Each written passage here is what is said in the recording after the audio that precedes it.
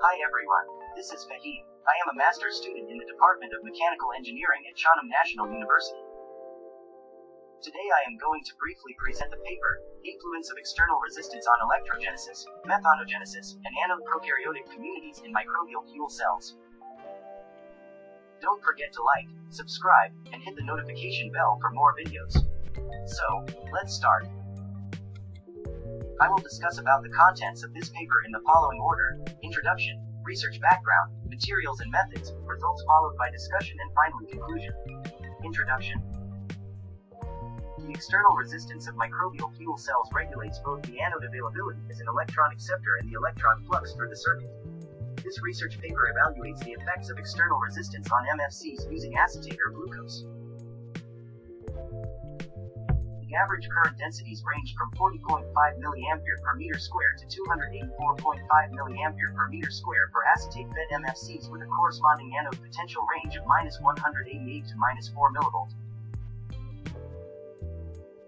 For glucose-fed MFCs, the average current densities range from 40.0 mA per meter square to 273.0 mA per meter square, with a corresponding anode potential range of minus 189 to minus 7 mV.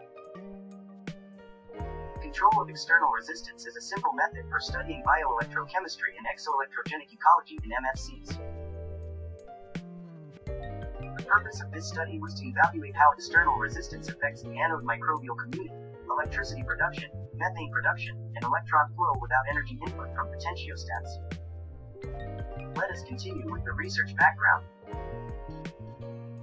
bioanode is a crucial component in bioelectrochemical systems which is composed of an anode biofilm and a conductive electrode. The complexity of anode biofilms makes it hard to elucidate electrochemical mechanisms at the bioanode, but a precise understanding of exoelectrogenesis and competition in anode biofilms will aid in improving the performance of bioelectrochemical systems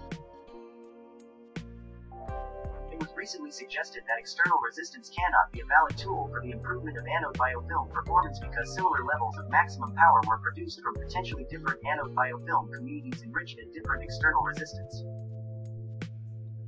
To achieve this goal, triplicate anode biofilms were developed at the same external resistance in H-shaped MFCs using glucose or acetate. So I will talk now about the materials and methods part. MFC construction and operation. H-shaped MFCs were constructed with 25.2 cm square of anode and 13.0 cm square of cathode. Electrochemical measurements. Cell voltage was monitored using a multiple data acquisition system. Cathode potential was intermittently measured with a silver and silver chloride reference electrode located about 5 mm from the cathode electrode, and anode potential was calculated by subtracting cathode potential from cell voltage. Chemical analyses. Liquid samples were filtered with a syringe filter and the soluble chemical oxygen demand was measured using the colorimetric method. DNA extraction and PCR. Anode electrode samples were sliced with sterilized scissors at the end of each batch in an anaerobic chamber for isolation of genomic DNA. DNA was extracted with the PowerSoil DNA isolation kit according to the manufacturer's instructions. Community analysis. Denaturing gradient gel electrophoresis was performed using the DCode Universal Mutation Detection System for bacterial community analysis. PCR amplicons mixed with a loading dye were loaded onto 8% polyacrylamide gels containing a gradient of denaturing ranging from 30 to 60%. qPCR, quantification of Geobacteriaceae was performed with the primer set GEOBACTERACEAE 494F and GEO 825R. Methanosaetaceae and methanomicrobials were quantified using primer set MST702F and MST862R and primer set MMB282F and MMB832R. Nucleotide sequence accession numbers. Nucleotide sequences were deposited in the GenBank database. So let us now see the results obtained from this paper. Electrochemistry. Low external resistance allowed high current flow and elevated the anode potential as shown in Table 1. Average currents in the voltage plateau range from 40.5 mA per meter square to 284. 5 mA per meter square for acetate-fed reactors, with a corresponding anode potential range of minus 188 to minus 4 mV. For the glucose-fed reactors, currents range from 40.0 mA per meter square to 273.0 mA per meter square with a corresponding anode potential range of minus 189 to minus 7 millivolt. Electron flow and energy recovery. In lower external resistance systems, the total substrate consumption rate was higher due to increased rates of electrogenesis as shown in Table 2. Chemical oxygen demand loss not accounted for in measured current hydrogen, and methane production and estimated aerobic respiration increased with external resistance. Reaching 74% in acetate fed control reactors and 64% in glucose fed control reactors in an open circuit. Biogas production accounted for 14 to 18% of electron loss in glucose fed reactors, but only 0 to 6% of that in acetate fed reactors. Biogas production. For acetate-fed reactors, total methane production increased as external resistance increased and the current decreased as shown in Table 2. Glucose-fed reactors produced 43 to 54 moles methane during stages 1 to 3 and 84 to 92 moles in stages 5 and 6, during which the anode bottles were not washed with each medium change as they had been during stages 1 to 3 as shown in Table 2.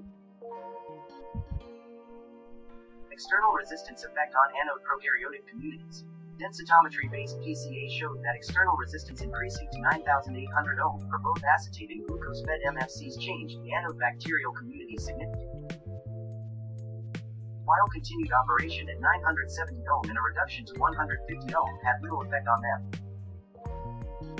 Here, Table 3 shows the phylogenetic identification of prominent denaturing gradient gel electrophoresis band quantification of three functional groups in anode biofilms, the average cell numbers of Geobacteriaceae were 1.7 into 10 to the power 6 plus minus 5. 8 into 10 to the power 5 cells per centimeter square in acetate-fed reactors and 2.5 into 10 to the power 6 plus minus 1.6 into 10 to the power 6 cells per centimeter square in glucose-fed reactors. Regardless of the current generation, acetate-fed control reactors produced very little methane and had only methanomicrobial cells. The non-electrogenic glucose-fed control reactors had less methanogenic cells in the anode biofilm but produced amounts of methane similar to those of the closed-circuit glucose-fed reactors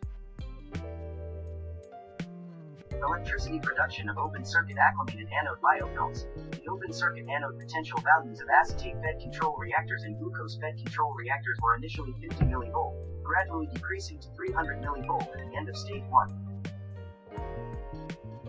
In stage 1, acetate was barely consumed in acetate-fed control reactors, while nearly all of the glucose added to glucose-fed control reactors was converted to and accumulated as acetate.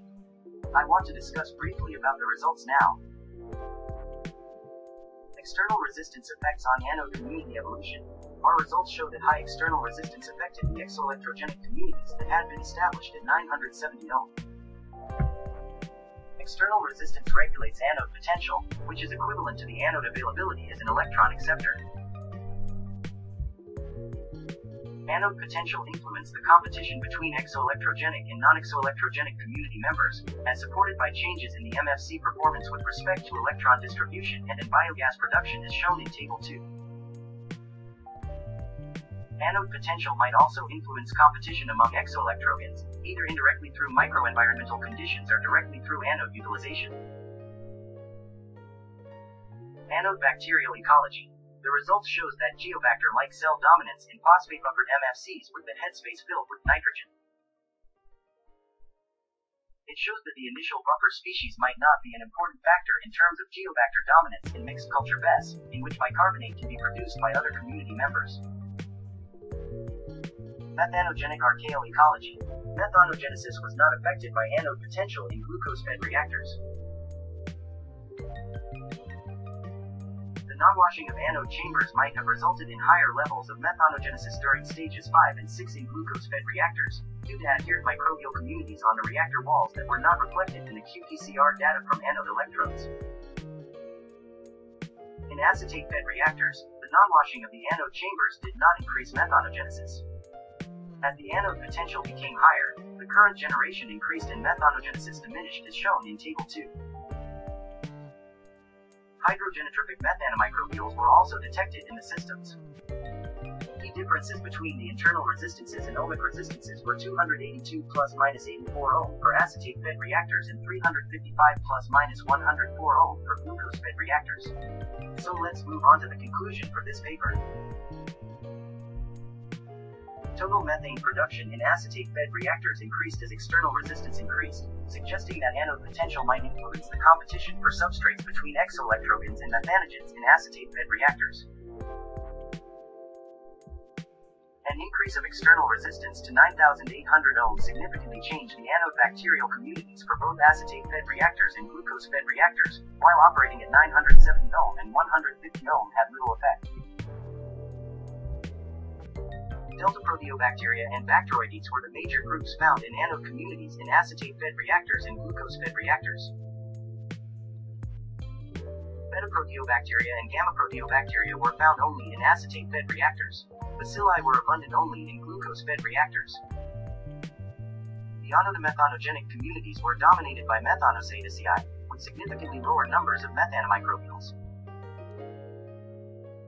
These results show that external resistance affects not only the anode potential and current generation but also the anode biofilm community and methanogenesis. Thank you for your attention and if you have any question you can send me an email.